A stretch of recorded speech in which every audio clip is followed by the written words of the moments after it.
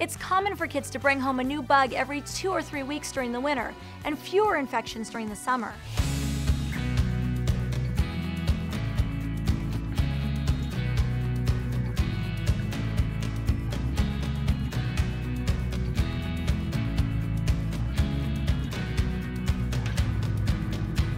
Hi, I'm Dr. Altmann. Does it always seem like one of your kids is sick with something? Here's some info to put that into perspective. Healthy kids with normal immune systems can catch around 10 infections a year.